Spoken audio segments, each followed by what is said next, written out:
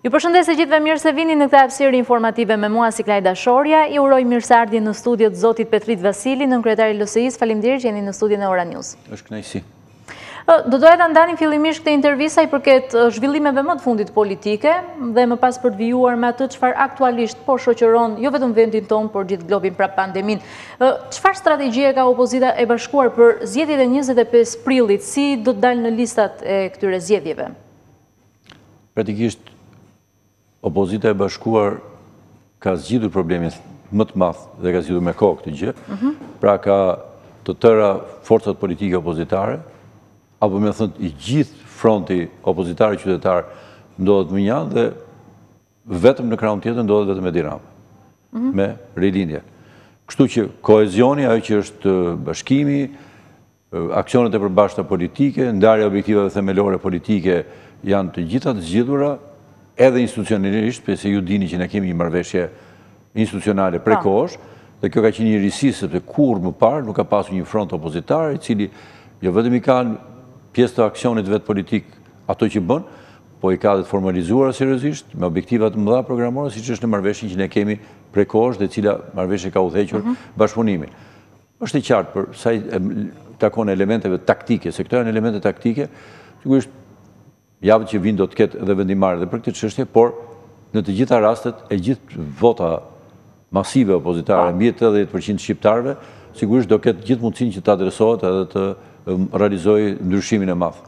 Pra ende nuk ka një vendim nëse do të keni lista të përbashkëta apo do të kandidoni për qarqet? Sinqerisht në qoftë se doni vendimin tim, është një Vendim i parëndësishëm, në kuptimin jo të keqë të fjalës, por vendimi më i madh dhe madhor, ai që prin këtë ndryshim që pritet, mezi pritet nga njerëzit, është që gjithë opozita ka kohezion, është së bashku, elementet e taktikave elektorale, duhet ta dini janë, nuk janë elemente parimore, janë elemente të maksimizimit aty këtu të një vote, por që Asnjëherë nuk ndryshojnë dot të të madhen që pritet dhe që tashmë është evidente, të gjithë e shohin. Qartë, pra sa mundësi ka për të dalë me një listë unike për të maksimalizuar votën? Lista unike, listat e veçanta janë vlerësime, të cilat sipas edhe duke parë tendencat, sondazhet, rezultatet historike, sondazhet e momentit, të gjitha janë një analizë e cila është politiko-statistikore, e cila të çon në një vendim, Po nuk me, nuk, nuk mendoj që meriton të hajë një kohë të madhe, sepse kohën e duhur do jetë dhe do jetë çështja e shuarjes së një së një kurioziteti, por themelore thashë dhe një tjetër do të jetë që kjo votë e gjitha do të shkojë për të realizuar ndryshimin. Pra nuk do të ketë një votë e cila gabimisht shkon në krahun e Rilindjes, po e gjitha do t'jetë atje. E akomoduar në një listë të vetme, në dy lista të veçanta, në tre lista nuk, ka, nuk dua ta paragjykoj, ka një rëndësi minimale në raport me këtë bllok i cili është i konfiguruar, mhm. ka të njëjtët objektiva themelore dhe ka të vetmin edhe qëllimin, që vërtet të realizojnë ndryshim, sepse Shqipëria ndodhet në një qorrsokak kaq të rrezikshëm, ekonomik mbi çdo gjë, po. politik pse jo, sepse në fund fundit ekonomia përcakton dhe linjat politike, e tashmë ne do kemi mundësi të flasim edhe një qorrsokak shëndetësor i cili është akoma më dramatik se të tjerët. Dhe një pyetje të fundit sa i përket pra zgjedhjeve brenda partisë apo edhe si bashkim opozitar, kemi ndonjë emër përkatës të përfaqësuesve të LSI-së në ndonjë qark dhe ju vetë ku do të kandidoni? LSI-ja ka zgjedhur ka një patronazh politik. Mhm. Pra, në të gjithë qarqet e Shqipërisë ka një patronazh politik, i cili nga ndiqet nga njerëz, personalitete të partisë, të cilët janë ngarkuar për të ndjekur punët në qarqet përkatëse. Kjo nuk ka përcaktuar absolutisht as listë kandidatësh apo cilët do të jenë ata, mënyrën se si ata do të vendosen në lista, absolutisht mhm. jo. Unë besoj në Javët që vijnë do ketë edhe një saktësim për këtë gjë.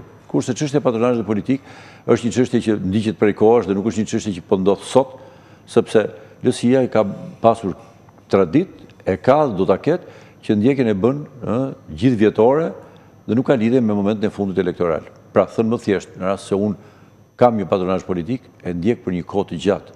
Nuk është që filloj ta ndjek në dy muajt apo tre muajt e fundit. Dhe kjo Kjo ka shoqëruar dhe kjo njëkohësisht ka qartësuar dhe një raport shumë më të mirë, shumë të shëndetshëm ndërmjet elektoratit, strukturave të partisë, edhe njerëzve që e përfaqësojnë partinë si kandidatë apo nesër në parlament. Qartë. Dhe ndërkohë një pyetje, zhvillimi i fundit sigurisht në vendin tonë për çështjen 184, si e keni parë pushimin e kësaj çështje? 184, Është një çështje e madhe, unë jam mirënjohës për pyetjen tuaj, jo jam sinqerisht mirënjohës, pasi është për fat keq prova e fortë e madhe mm -hmm. ku të ashtuquajturat institucione të reja e humbën sfidën. Pasi qoftë SPAK, prokuroria, të gjitha institucionet që pretendohen të reformuara, po, të një drejtësie që është pagëzuar shpesh me emrin drejtësi e re, shoqëruar me një me një entuziazëm fiktiv artificial, i cili në disa raste më shumë ka qenë një entuziazëm i shprehur në anglisht se sa një entuziazëm i shprehur në shqip. Kam parë shumë ndërkombëtarë shumë të gëzuar për një drejtësi që po ngrihet në Shqipëri, e cila të cilin shqiptarët nuk e besojnë. Por faktet, përballja e kësaj drejtësie me një çështje të nxehtë, ku kishte të bënte, ku kishte brenda ministra, kryeministri, deputetë, drejtorë të rëndësishëm lokalë, kjo sfidë u humb. Sot shqiptarët çfarë dinë? Edhe ju si qytetare, jo si gazetare. Ju dini që një prokurori e caktuar e ka konfirmuar e zezë në të bardhë që shitblerja e votës ka ndodhur, kërcënimi i zgjedhësve ka ndodhur, përzierja e krimit ka ndodhur, po po fajtorë dhe të dënuar nuk ka. Ç'do mendonin kameramanët tuaj, jo njerëzit që merren në mënyrë profesionale si ju, po njerëzit e thjeshtë që që shërbejnë në shumë punë tjera në Ora News dhe kudo tjetër. Do shikonin pra që këta që kriminalizuan procesin e votimit, po. Duke filluar nga njerëz që do të çonin si Gjiknuri do të çonin dhe djem problematikë, do thotë njerëz me me të kaluar kriminale, shikojnë që nuk u prekën. Dhe panë që në mënyrë qesharake disa ushtarë të fundit të këtij procesi të organizuar, të frymëzuar e të mbështetur edhe të financuar nga këta, nga qeveria vetë, nuk dënohen. Pra do të thotë, edhe ping-pongu, që është akoma më i neveritshëm. Unë kam pritur nga këta ndërkombëtarët që flasin shumë për reformë drejtësinë të kishin deklarata vërtet të shqetësuara dhe ofensive, se si ka mundësi kjo drejtësi e re, e la pas dore këtë çështje, me vite derisa të thoshte që nuk i dënojmë dot, sepse koha skadoi, nuk kemi kohë dhe kohët ligjore janë të pamundur për ta ndjekur. I kthen dot përgjigje drejtësia e re faktit që shitblerja u, u njoh, u mhm. vulos në, në, në, në atë që prokuroria paraqiti, pra është fakt shitblerja e votës, kriminalizimi, kërcënimi i zgjedhësve e të tjera, po fajtorë nuk ka. Thënë e gjithë kjo, besoj që është një moment për reflektimi shumë të fort, për të parë që janë ngritur institucione fiktive, apo një institucione vërtet reale. E kam thënë dhe do e them edhe në studion tuaj. Sepse shumë materiale dhe dosje që këta ky SPAK-u po merren kanë qenë dosje të krijuara nga prokuroria e krimeve të rënda. Që ka qenë dikur. Një prokurori e suksesshme. Të gjithë prisnim të kemi një SPAK shumë më efektiv, shumë më goditës. Shikojmë që është një SPAK i tëri përmbarues, mbyllës çështjesh, jo të çuar çështjesh përpara, që është shumë i prirur të shikojë 20 apo 30 vjet mbrapa, realitetet që janë këtu nuk i shikon, dhe është shumë larg, nuk është në nivelin e prokurorisë krimeve të rënda, e cila u zhbë si institucion për të ngritur institucion më të fortë. Ju të gjithë prisnim, ne të gjithë prisnim, jo thjesht dënime, ne nuk jemi njerëz që jetojmë me dënimet, por që ligji vepron rreptë dhe fort mbi këdo që e shkel ligjin. Kjo nuk ndodhi, nuk e pamë. Atëherë, ç'duhet të bëjmë? Duhet të jemi të lumtur për këtë drejtësi të re? Jo, duhet të jemi preokupuar. Po. Sepse unë jam shumë i dëshpëruar që dëgjoj njerëz, po dhe njerëz të medias, po dhe gazetarë, po dhe qytetarë të thjeshtë që thonë ishim më mirë kur ishim më keq. Ky është mesazhi më negativ që mund të vijë. Dhe kjo po ndodh rëndom sheshit. Qartë. Dhe për të vijuar sa i përket pandemisë, tani më kemi kufizime të reja në vigjilje të Krishtlindjes, në festat e fundvitit. Si e keni parë këto kufizime të vendosura nga ana e qeverisë për të minimizuar sadopak infektimet tek njerëzit? Kam thënë shpesh dhe këtu E heqim atë petkun, a çfarë doni, mhm. kravatën e, e politikës dhe flasim si, si... një profesionale, në emër të profesionit. Dhe të një pune që modestisht po jua them e njoh shumë mirë. Nëse ju, ju e keni anonçuar si gazetarë një, një masat e reja kufizuese, mhm. pra e keni bërë këtë detyrë, për, për detyrim të informacionit, Juve ata që ju kanë çuar masat nuk u kanë çuar asnjë argument me vete apo jo. Dhe ju vetëm keni anonçuar qytetarëve do mbyllen tetë e gjysë. Po. Minimumi do ndodhte që për arsye se 1 2 3 4 do ishin disa arsye përkeqësimi të gjendjes, për arsye se janë vërejtur këto dukuri të reja, këto tendenca andej këndej, ne kemi një, do kemi një mbyllje akoma më të fortë. Po ça kemi dëgjuar? Kemi dëgjuar që rastet janë dy herë më pak sesa, ku di unë, Pra kemi një ulje po, dhe vlerësimi, ashtu sikurse ndodh kudo në botë, kur ka një rritje të rasteve, ka masa shtrënguese për të krijuar situatën. Dhe sa më shumë tendenca e rënies është e qartë, nuk flas me rënie dyfishi, siç ka ndodhur këtu, po një tendencë rënie, po. fillojnë të relaksohen masat, fillojnë bëhen më të buta masat. Shqipëri ndodh e kundërta. Qytetari do pyesi, pse po sakrifikojmë? Ne kemi sakrifikuar me këto masa kufizuese për të ardhë këtu. Po. E dyta, do pyesin, është thënë shpesh që lokalet, baret, restorantet, ku di unë, kafet, janë një shkaktar i madh. Atë një qytetar mund ta pyesi shumë mirë. E të thotë, ju dhe si ju si gazetarë, po dhe si qytetarë, do thonim, po, po mirë, nuk do ishte më mirë dhe më e thjeshtë që këtyre t'u vihet një regjim i caktuar. Pra, këta mbyllen në këtë orë. Mbyllen, se meqë janë vatra rreziku kështu e po supozojmë, sepse shpjegime po. nuk na kanë dhënë. Si të tillë, atëherë u vëmë një orar kufizues këtu dhe jeta tjetër me kufizimet e veta, me distancim fizik, me maskën vazhdon, të tëra aktivitetet e tjera vazhdojnë, supermarkete, dyqane ushqimesh, farmaci, objekte shërbimi, Rast se ju po lëvizni të shkoni me makinën tuaj për t'u kthyer në shtëpi dhe ju ndodh që goma e makinës ka një defekt, të jetë një ai që mendon të rrijë të punojë deri natën vonë për të riparuar apo një një qendër servisi dhe të afrojë. Atëherë pyetja është pse mbyllen të gjithë? Ëh. Mhm. Në rast se e kemi identifikuar kush është problemi. Po. Sepse ça krijon kjo? Kjo krijon një stres psikologjik të kotë, nuk kontrollon pandeminë, krijon një një një dëmtim ekonomik të jashtëzakonshëm sepse këta mijëra e mijëra biznese të mbyllura sigurisht humbasin. Dhe çfarë bëjnë? Krijojnë mund premisa për të vërë grumbullimet e njerëzve. Dhe tjetra, çfarë dëmi i bën, ne dimë shumë mirë që mbas orës 8, 8 e gjysmë, është një stinë e dimrit. Nuk është karakteristikë që rrugët e Shqipërisë të kenë qenë plot. Nuk është në, në mënyrën e jetesës tonë. Tani Çdo komb ka mënyrën e tij, karakteristikat e tija të ndërtimit shoqëror të jetës vet. Përse duhen këto mbyllje të gjithë aktiviteteve tjera? Atëherë, po të shikojmë me vëmendje në të gjitha pikëpamjet, në vend që t'u japin përgjigje pyetjeve të mëdha dhe të bindin njerëzit, krijojnë pastaj mosbesim dhe dhe kjo humbet bashkëpunimin, mhm. sepse një masë e cila nuk është e argumentuar, njerëzit nuk e besojnë dhe thotë, hajt ta respektojmë se thonë këta, dhe kanë dhe tendencën për ta thyer. Dhe humbja e bashkëpunimit me qytetarët ul efikasitetin e masave. Nuk zgjidhen masat me me me me me sakatimin e njerëzve me gjoba. Gjoba është e fundit. Po. Është e fundit fare. Dhe ideja që kemi ca një polici që vetëm vë gjoba, që as s'pyet fare, që të rrëmben, bile më çuditi një një shomen e njohur që e kish kaluar Covidin, e verifikuar, tha më vunë gjobë se s'kisha maskë, tha. Dhe i pyta, po unë, as e jap dot Covidin, as nuk e marr dot. Sepse, dihet që kalimi i Covidit krijon një lloj imuniteti njërën tjetër. Po. Dhe më dënuan gjithsesi. Po tani, çfarë kemi? Kemi njerëz që nuk hanë arsye. Njerëz që veprojnë në mënyrë arbitrare, në mënyrë mhm. në mënyrë të të, të dhunshme. Atëherë gjithë ky sistem i vendosur në këtë mënyrë dhe paradokse të tilla. Unë kam denoncuar në shumë raste po. disa postime që ndërkohë që duhet të kemi, të kemi rritje të testimeve, testimet për një javë rresht pati një rënie. Dhe ndërkohë qytetarët pyesin këtë gjë. vaksinën kur do ta kemi? Ju s'keni përgjigje apo jo? Njerëzit e medias kanë përgjigje shpejt sepse kanë dhe burime informacioni. Këtë s'e keni. Dhe ky është fakt. Kur nuk kemi një vaksinë, nuk e dimë as kur vjen, ndonëse në Ballkan ju dini që Disa vende ballkanike bëhen gati, po, jo, dhe kam, dhe bëhen gati të fillojnë. Atëherë ç'ndodh me shqiptarët. Atëherë në qoftë se nuk e ke dhe këtë vaksinë, e cila, sikur është shkencërisht, është është e konsoliduar ideja që fillimi i vaksinimit të gjerë të popullatës është një fillim dalje nga po. kjo situatë pandemie. Atëherë çfarë do duhej? Forcimi i jashtëzakonshëm i rritjes së testimit, jo testimi në nivele afrikane. Testimi sa më të shumtë që e vërteta të jetë dhe të kemi jo thjesht gjendjen e të vërtetës, po do të thotë që të kemi mundësi ta përballojmë situatën në terren. E para, e dytë e punës, mundëson që rastet mos rëndohen. Sepse ça ka ndodhur?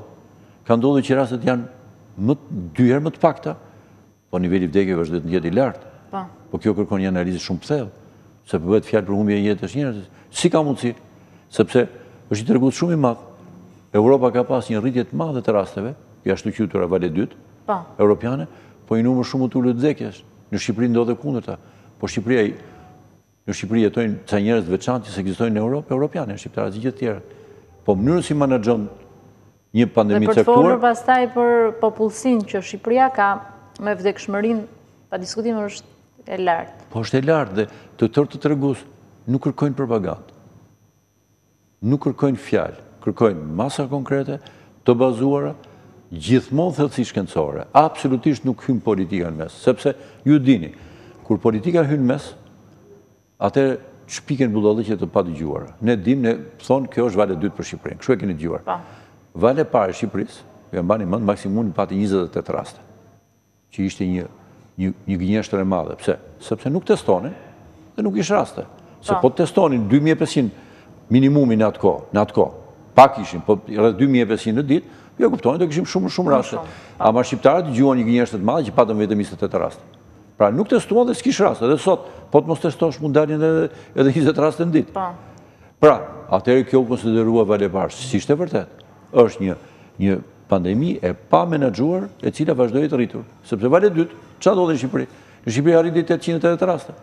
Po si ka mundësi të kishte një rritje 20 herë më shumë, kur vala e dytë në gjithë Europën nuk e arriti nivelin e valës së parë. Pra ishte o afër saj, ose gjithmonë poshtë. Nuk pati në asnjë vend, nuk pati në Itali të themi nga 30.000 raste, të kishte një milion ditë tashi. Mhm. Nuk pati në Francë, nuk pati në Spanjë, nuk pati në Angli.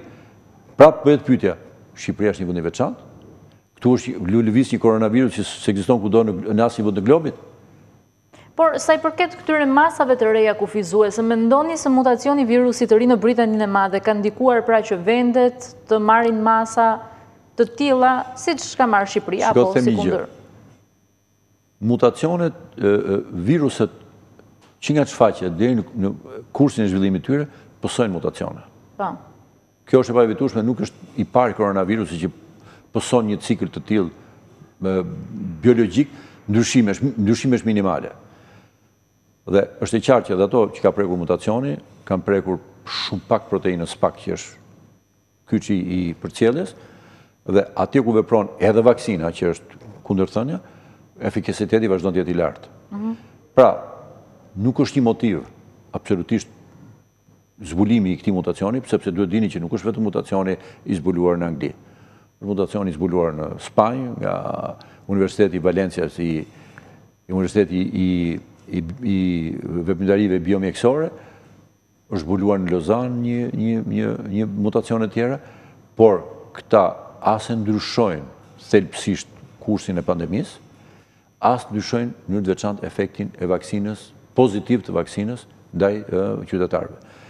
Thënë gjithë kjo, nuk aq më tepër duhet të dimë dhe një gjë tjetër që për çdo mutacion, për të nxjerrë konkluzione të mëdha, edhe konkluzioni që përcillet 70% më shumë është në botën shkencore pa diskutime të mëdha, sepse Që të kesh një gjë, një, një tregus të vërtetë, duhet të jetë i shoqëruar me, me studime të bollshme, të zgjatura në kohë, që sigurisht as, as ekspertët anglezë nuk kanë pasur kohë materiale që t'i zhvillojnë. Kanë bërë konstatimet e rastit, kanë ngritur alertin me fjalë vigjilencën për këtë gjë dhe mirë kanë bërë, por mhm. asgjë s'mund të ndryshojë kursin e pandemisë. Linjat udhëheqëse që përballojnë një pandemi, siç është testimi, gjurmimi, trajtimi, vaksinimi i tyre, mjetet kufizuese e mbrojtëse, disinfektimi, këto linja janë linja që nuk ndryshojnë dhe nuk lidhen gjëkundi me çfarëdo lloj mutacioni që të ndodhë. Mutacion themelor që të jetë një virus i cili mutohet dhe dhe është shumë herë më i fortë se koronavirusi që u përballëm nuk mund të ekzistojë. Janë ndryshime të të njëjtit koronavirus.